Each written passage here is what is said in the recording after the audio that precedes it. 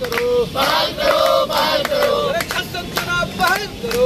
बहाल करो बहाल करो। बहाल करो। बहाल करो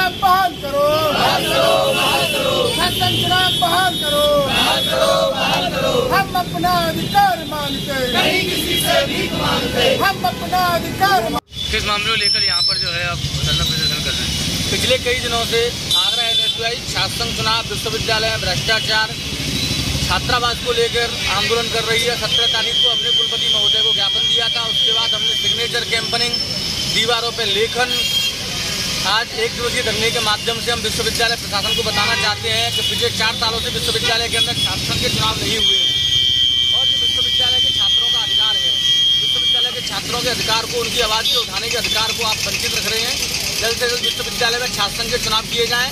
और एक एस आयुर्वेदिक मेडिकल कॉलेज है। जो लड़कों से लगातार अतिरिक्त परीक्षा शुल्क लेता है।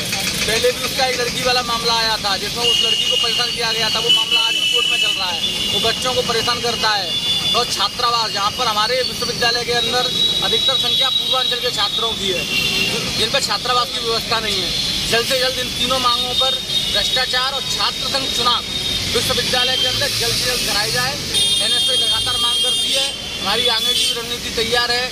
डे बाई डे हमारे प्रोग्राम चलेंगे। मांगेंगे और विश्वविद्यालय में छात्र संघ चुनाव बार विश्वविद्यालय प्रशासन को कराना होगा। अंकुर जी क्या मामला इसको लेकर भारत माता की लगातार 2017 के शासन चुनाव के बाद चुनाव कराने की मांग कर रही है। अठारह उन्नीस में भी उन्होंने मांग की शासन चुनाव कराने की।